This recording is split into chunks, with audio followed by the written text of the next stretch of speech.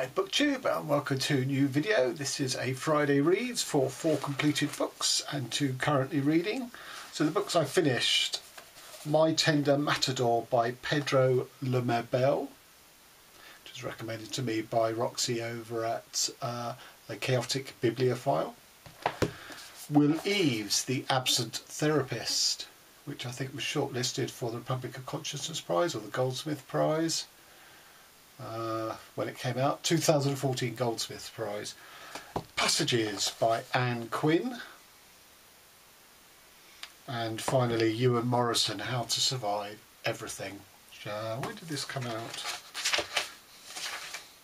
Yeah, it came out this year because it's a, it's a, an epidemic narrative.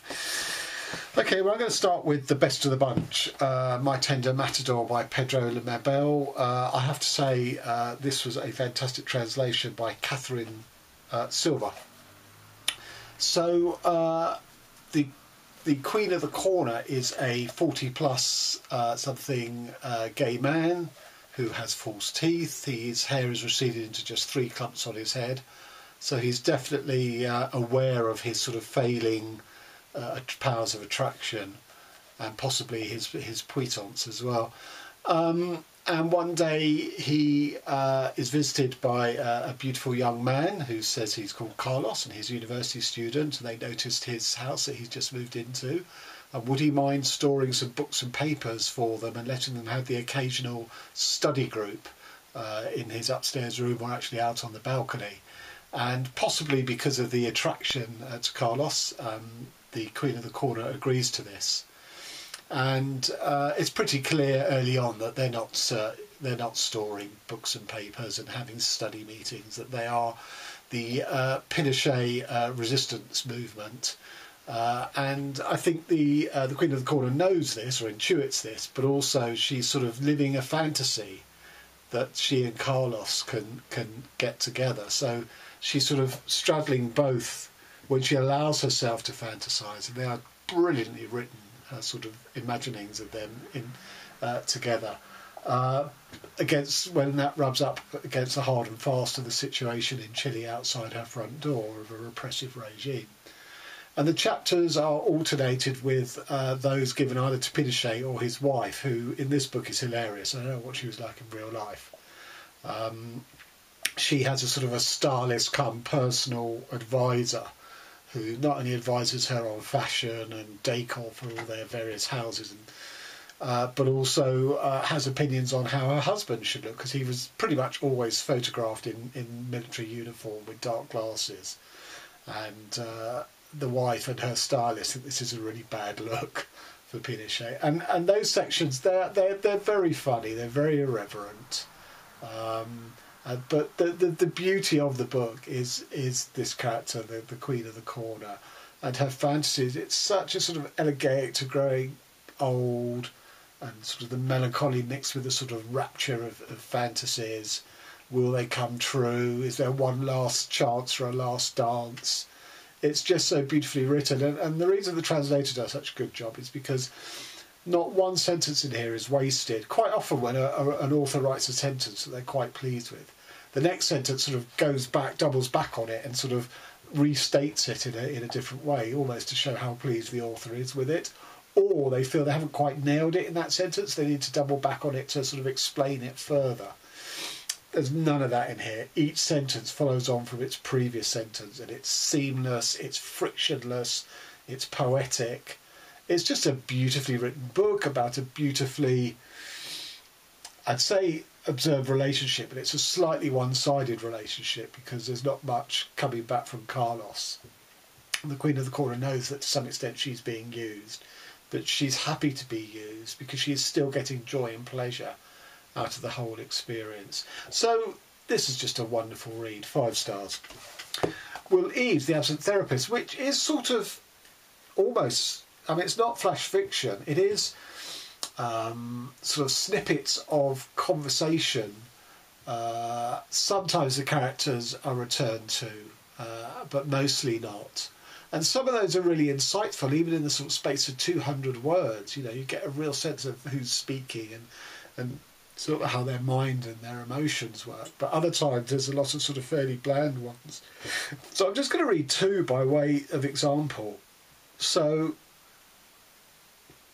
I have a choice of two dry cleaners. One is called Fantasy Cleaners, which doesn't inspire confidence. I want to ask, whose fantasy? Mine or yours? The other one is Scorpio. Just that. Not Scorpio Cleaners or Scorpio Cleaning, the killer in Dirty Harry is called Scorpio, isn't he? Row, row, row your boat. Or am I mixing it up with the one with that violent mafia actor, the one who isn't Clint? He's called Scorpio, I think. No, Serpico, there you go. They're both good films anyway.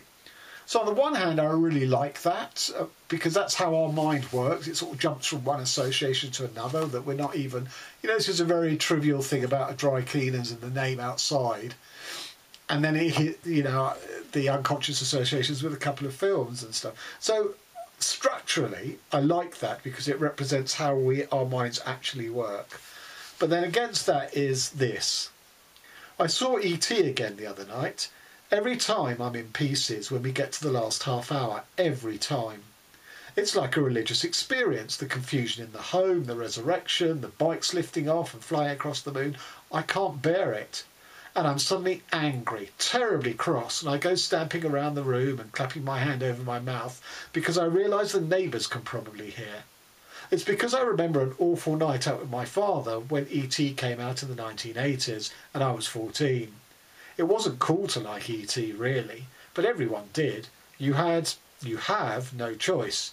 It's a brilliant attack on adolescent cynicism, apart from anything else, because the oldest brother in the film, Elliot's protector, falls in love with E.T. too. Brilliant stroke that.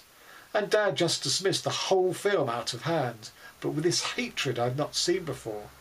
He kept saying, some fucking puppet, some rubbery thing, and pointing out how mawkish the whole enterprise was. And I said, well, have you seen it?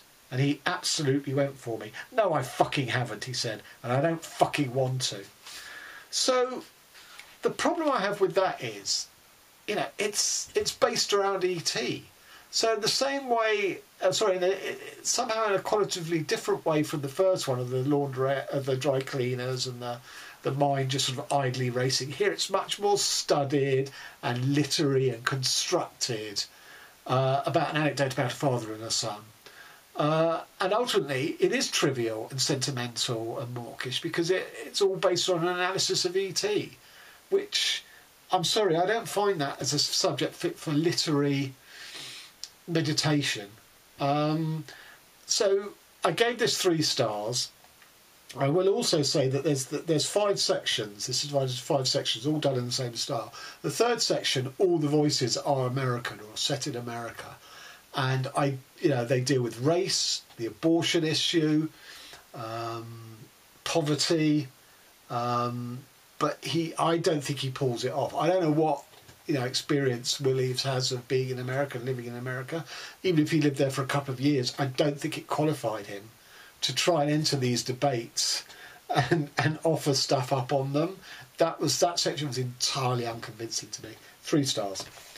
And Ann Quin, Passages. So Ann Quin was a British postmodern author, uh, sort of 50s, 60s uh, a contemporary B.S. Johnson, of course, one of the few female authors in Britain working in this genre. Um, she wrote four novels in all. The first two, Berg and Three I have read, didn't really get on with them. Uh, this is the third, and then I've also started the fourth called Tripticks, which I'm really not getting on with at all. But this is the only one of the four that I really, really like. It has a it's going to be quite hard to sort of nail it down as to why it was successful for me. But basically, it, it's a woman and a male friend who are occasional uh, lovers. Uh, her brother has disappeared in a Middle Eastern country, uh, which is sort of um, tyrannical and cracking down on communism. Uh, uh, you know, the communist resistance to their, their dictatorial government. Uh, and they're passing through one Arab country uh, to another in search of this brother. Uh, they almost don't know what he, you know, they almost don't seem to know what he looks like. So is he a fantasy figure? Uh, are they really looking for bits of themselves rather than the, the, the brother? So on that level, it's a, you know that's the sort of metaphysical level it works out. But that's not really what's pleasing about this. It's it's four chapters or four sections divided into two different styles. The first style, the first and third are given over to the woman, and she varies between I and she. And the second and fourth are given over to the man, which is a sort of a journal he keeps on their travels, uh, and which he sort of notates in the margins and things. And I found those much more satisfying than the, the, the woman shifting from I to she. Uh, there is an ambiguity uh, at first when you read it, and it switches from I and then goes into she. You think, oh, this must be the bloke talking about her, but it isn't. It's it's it's her own sort of uh, uh, lacquer or losing that sense of identity that she shifts from herself as a as an I to a she or to a her. Um, there's lots. The, the the man is of Jewish origin, and there's lots of interesting sort of Jewish sayings and stuff which I haven't come across before. Uh, I'm also dead impressed that Ann Quin uh, knows them. Uh, I assume she wasn't Jewish with a name like Ann Quin, but I could be wrong. Um, so those are impressive. And also, there's a lot of, because they're moving through the Middle East, or I should say North Africa, where there were sort of lots of Roman and Etruscan sort of forebears, there's lots of artworks uh, and architecture that the man comments on, and those form a, uh, um, a sort of a backdrop, backdrop for his commentary lots of sort of descriptions of, of Greek, you know, the, the images on Greek urns and, and the gods and uh, and sort of fantasy animals that appear on them, which again is peculiarly effective.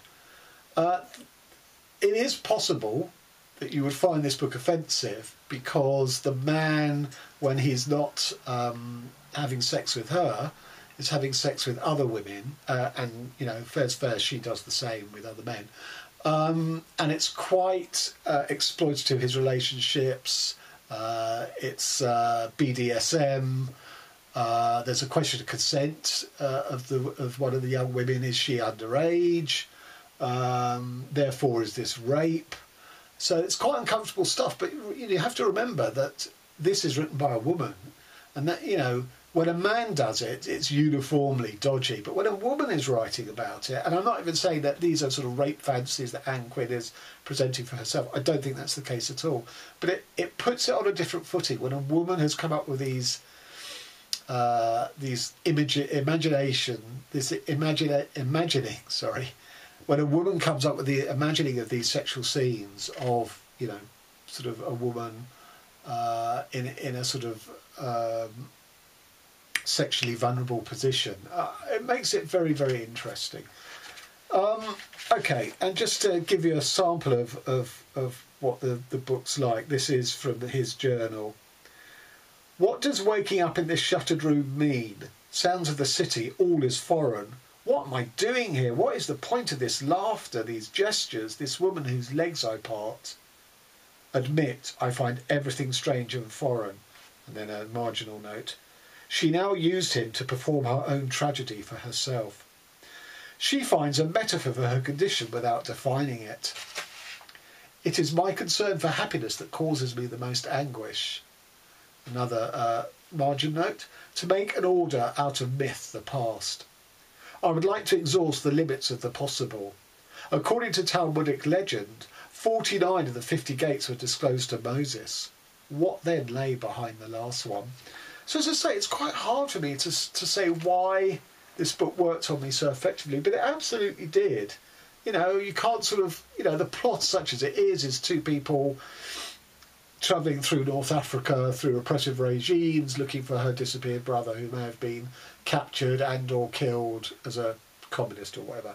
That's it. That's the plot.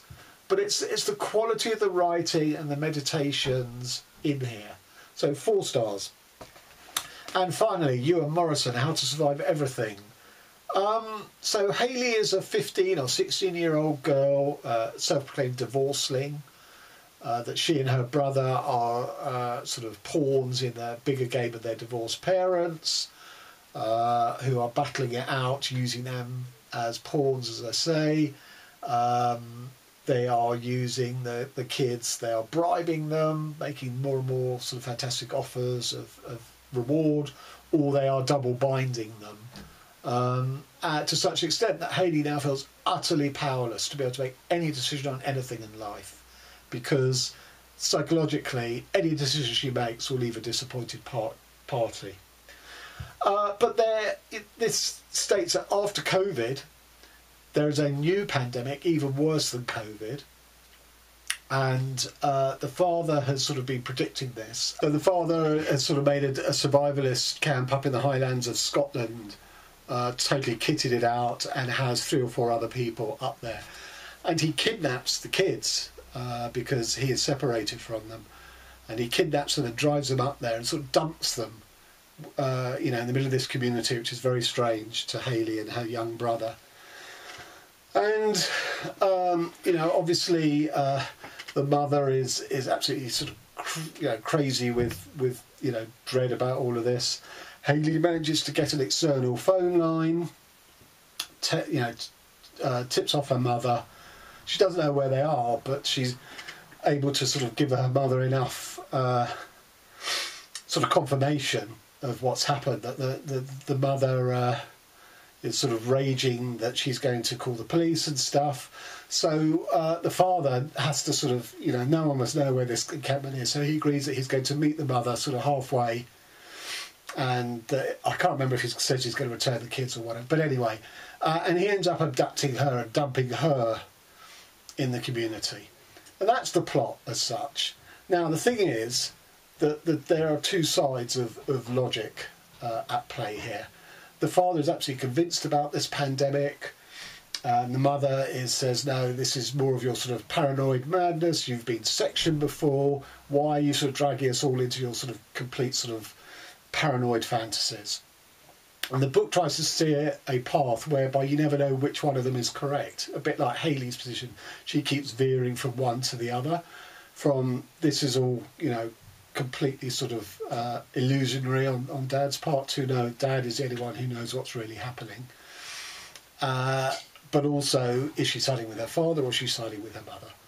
And I'm not going to spoil which way it ultimately falls, uh, but I found this all hugely, hugely unsatisfactory. First of all, is the book about a pandemic or is it about uh, how difficult it is to be a divorced child with, with warring parents? Because if it is the latter, and I kind of think it is, how to survive everything is in the title, including divorce. Uh, using the pandemic as a backdrop is in pretty poor taste, really. You know, relegating it to a minor sort of, you know, theatre scenery, you know, stage flat to play out the real action when we've had so many people who have died.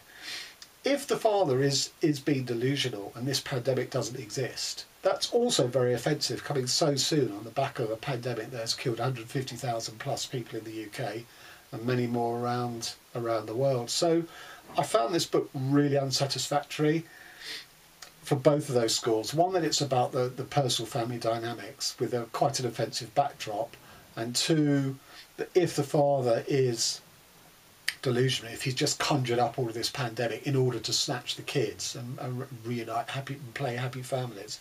Again, I find that really offensive. I gave this two stars. And just to finish up, two buddy reads are coming to an end this weekend. One is uh, Leanne Shapton's Important Artefacts and Personal Property from the collection of Leonora Doolan and Harold Morris, including books, street fashion, and jewellery. Uh, this is a buddy read with Zena over at Beating Around the Books. And Who Was That Man? A Present for Mr. Oscar Wilde by Neil Bartlett. And this is a buddy read with Roxy over at A Chaotic Bibliophile. So tomorrow is, uh, both of those I'll finish today, hopefully. Um, tomorrow, Saturday, is the 1st of May, which means a new month and a new uh, mammoth for me. I haven't decided which one. I'm probably going to go with um, Medusa by Vanessa Place. Uh, so it's been a really good uh, reading uh, month for me. I've read an awful lot of books this month and a lot of very, very good ones. Okay, so till next time, thanks very much.